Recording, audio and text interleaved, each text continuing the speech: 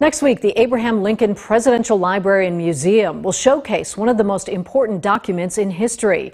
It's celebrating Juneteenth by displaying a rare copy of the Emancipation Proclamation. The document played a key role in the historic Day of Freedom. There will be no charge to see the proclamation, which bears the signature of Abraham Lincoln. It will be on display for the next few weeks in Springfield.